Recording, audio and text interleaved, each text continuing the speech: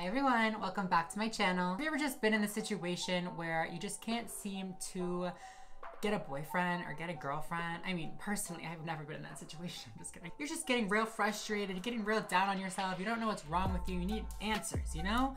You need to figure it out. If you are somebody in that boat, fear not, because for today's video, we are going to be watching some I like pause because I don't even know what to call them. We're gonna be watching some TikToks from some dating coaches, maybe? We'll go with dating coaches. Be Nice. In all seriousness though, there has been this massive trend of alpha males and being the most dominant, assertive alpha male you can possibly be. But not only do these alpha males just go on TikTok and show off their alpha qualities, but they also offer other young men advice on how to be as alpha as them. So for today's video, we're gonna be watching some TikToks from a few different misogynistic men, if we're being real. I post new videos every week here on my channel, so if you're not yet subscribed, go ahead and do that right now. I'll wait for you, go ahead.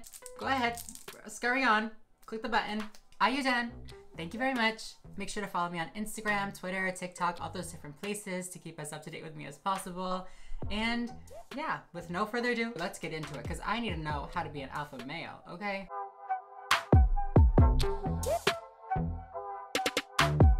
I mean, I also am not a dating expert. I am also not a dating coach, not a dating therapist, anything of the sort, but I feel like I want to give you guys my reaction from a woman's point of view. We have three different men here that are offering their dating advice to us, so we're just gonna go ahead and start with um, this one. This first guy has been going very viral on TikTok, mostly because he's just getting roasted. I'm pretty sure the one that went super viral he deleted, rightfully so. Why is it that even beautiful women, bad bitches, are single today? It's simple. Feminism. I know Sam Collins also did a video on him. He's been he's been everywhere. So yeah, let's listen, see what he has to say, and uh, yeah, see what we think. If I can give some dating advice to women, I would tell you number one, there's two types of guys in this world. There's more the leadership, alpha, dominant type of guys like myself, usually the breadwinner, or there's more of the submissive type of guy who likes to let his women lead and she's more of the breadwinner. I feel like money really does not have anything to do with whether or not you are the dominant or submissive partner in the relationship, but I mean, maybe that's just me. But why don't you guys, you guys, most of you guys try to chase and be with more tom- dominant type of guys, but you don't be submissive. Try being submissive. See what makes you feel better. I mean, you only have one life, so why don't you try it? You know what I'm saying? He's like begging women to be submissive for him. He's like, just try being submissive. It'll be fun. Please, babe. And the thing is, is you guys think submissiveness is is bad. What are you talking about? Submissiveness is the most feminine trait. That's why I can't be submissive. It doesn't feel natural to me. Being a leader, being dominant, being a man and masculine, it's the most masculine thing you could do is lead. Most of you women are submissive, right? When you're submissive to the universe, trusting your intuition, not chasing, sitting back waiting, that's submissive to the universe. Guys are submissive all the time when you sit back and, you know, make me chase after you and do all that stuff, and now you don't want to be submissive anymore. So upset. He's so butthurt. That video was titled My Advice to Women Dating, and the only advice that he has to offer is be more submissive. It'll be better. We have one other video from this man, and he talks a little bit more about what being submissive means to him. So let's just watch it and see what he really wants from a woman. Just a disclaimer, I'm a heterosexual male, but I know myself and I know my boys and I know how we rock and I know what would keep me would me would want to keep a woman around long term. So if I was a woman in 2021 and moving forward, how I would keep a man with money, looks, or status is so simple. The first thing I would do is allow the man to lead. Say for instance, he was like, "Yo, babe, I'm gonna pick you up at five o'clock. We're gonna go here at this time. Get ready." I would let him do that because that would show me that he has the right qualities I'm looking for long term. Provide, protect, and lead. Making dinner reservations is now providing, protecting, and lead. I I mean, okay, I I'll give you that one. Sure, I'll go with it. The number two thing I would do is I'd be considerate. So if he's hungry or if his room's dirty or his house is dirty, I clean it and cook for him because that will show him that I'm a supportive woman, which is very important long term, and I'm not combative. I would consider myself a very considerate person. Consider, considerate. You know, if someone I love is hungry, yeah, I'll you know I'll make them some food, whatever. Like I'll help clean, like I'll you know I'll do my part, whatever. But something about it coming from a man and a man saying that this is what's going to make you a valuable woman or a successful girlfriend just like doesn't sit right with me. Like there's a difference between making food for somebody because you love them and you care for them and making food for somebody because it's expected of you. Like you can just say you don't know how to cook. I'll buy you a cookbook. We can get takeout. It's okay. Number three thing I would do is I'll fill his desire. So what I would do is I wouldn't do it too quick because then he'll take it for granted. But I wouldn't do it wait to make him wait too long because then he'll become resentful. So Ron, I would make him wait till like the second or third day. And when we do establish the fun, I would do it every day and I would have him wrapped around my fingers. And I really don't understand how y'all having these problems. It is so easy. Great advice. Love it. Thank you so much, sir. So, what have we learned here? To find a man and to hold down a nice, high value, successful man, you gotta be submissive because that is the most natural form of femininity out there. And that's what men need. You gotta clean up his dirty undies because he doesn't know how to do his own laundry. You gotta make him food. You have to cut up his food so he doesn't choke on it because, you know, he, he doesn't know how to use a knife yet. Oh, wait, no, that's for your three year old. Sorry, I got them mixed up. Just the way that he frames that is so gross to me. Like, call me cheesy, whatever, but I feel like what, being intimate with somebody it shouldn't be you fulfilling their desires. It should be like you, you know, like you share a little, you fulfill each other's. You know what I mean? Maybe I'm looking into it too hard and like reading into it too much, but I don't know. He just he leaves a very bad uh, smell in the air, if you will. I was gonna say a bad taste in my mouth, but he's not anywhere near my mouth. Mm-mm. So the next men's dating coach, as we're referring to them, doesn't talk to us. Thank the fucking lord. But they post videos that are very similar to this one. It's captioned, "I love women. They're the best." And then underneath it, it says, I love when women make me food. I love when women give me back massages. I love when they know how to be quiet, when they like to submit, when they only talk to me, when they never have any fun. That one's like self explanatory. I'm gonna get into that one. We all know why that one's messed up. And then further proof that this person just hates women. So this one says unattractive things girls do, and it's a list. So it says high body count, nose rings, random ass tattoos, a big attitude in quotes. I don't. Okay being disrespectful, comparing you to her past, virtue signaling, clubbing and partying, and vaping slash smoking. Me hiding my nose ring. I'm like, some of these, you know, I can give to you. You know, if you're not like a clubbing, partying person, you might not want somebody that, you know, goes clubbing and partying all the time. I also would not want to have a partner that constantly is comparing me to their past. But you have to think about it in the context of his other videos. He's very much doesn't like women. It's giving very much misogynistic. It's giving very much I hate women. It's giving very much. I don't know what else it's giving, but it's not cute.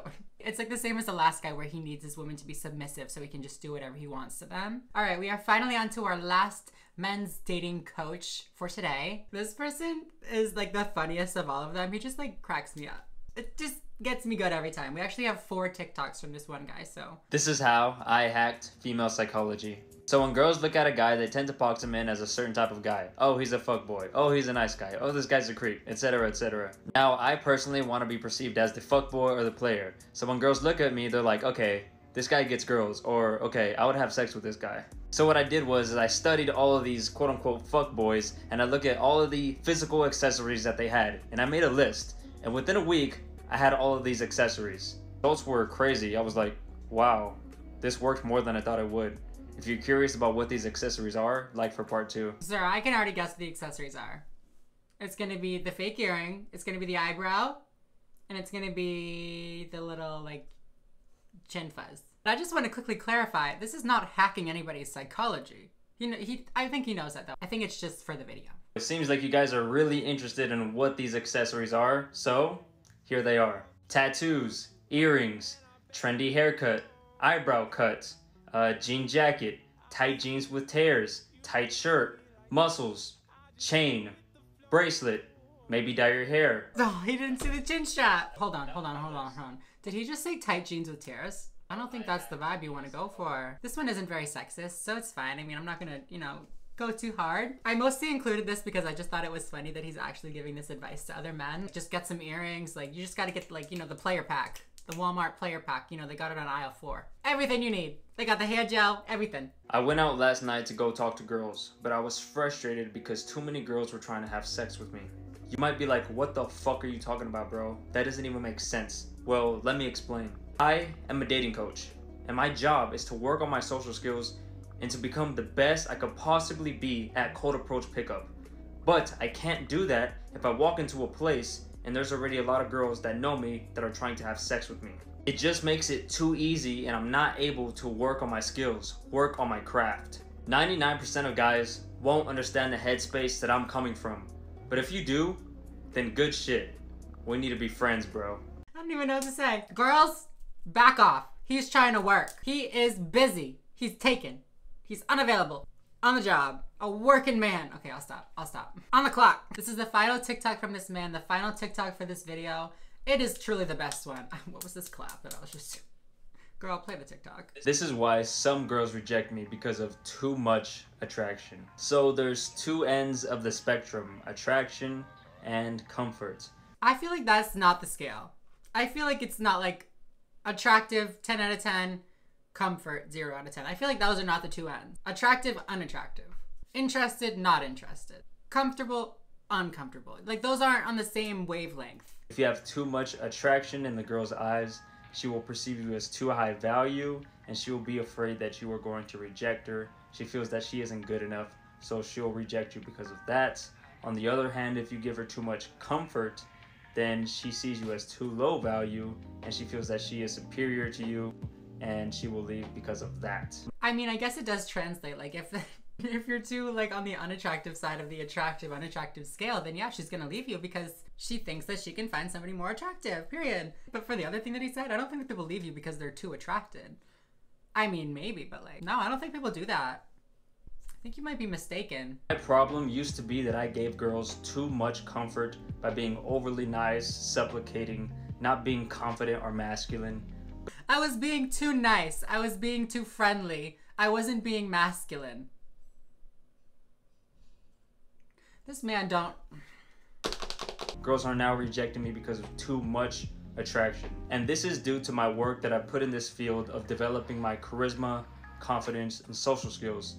And now I give off too much of the F boy vibe instead of the boyfriend vibe. So now the girls are really attracted to me, but they can be so attracted to the point to where they don't want to talk to me because they think I'm just gonna sleep with them and then ghost them right after, or I'm gonna be a D-bag. The problem is my aura is a bit too playerish, so I need to tone it back a bit if I want to get more results. Instead of being all the way on the attraction spectrum, I need to be somewhere along the middle or calibrate to the girl that I'm talking to. Whatever you gotta tell yourself, dude. I guess you. This is what I should just start doing. I just need to start telling myself that. Like when guys like reject me because I'm trans, I'm like, it's because I'm too much of a woman for them. Duh. Like, no, sir. He thinks I'm a tranny. He thinks I'm a man. I mean, maybe there are some women out there that would not date somebody because they think that they're too good for them, but like, Girl, don't do that. Well, you guys, that was the end of those TikToks. That was all that I had to show you guys for today. You guys should now be well on your way to getting yourselves a girlfriend, getting yourselves a date, a boyfriend, a partner, whatever you're looking for. These people, these men, these men's dating coaches really helped us out. So just thank you, babes. If you like this video, please make sure to give it a thumbs up down below. I post videos every week here on my channel, so make sure to subscribe right now if you aren't... did you guys hear that squeak? Was that a mouse? Little rat! Um, subscribe. Subscribe if you're not already and you'd like to be. I post every week. But yeah, other than that, I think I'm going to go. So thank you all so much for watching and I will see you in the next video. Bye everyone!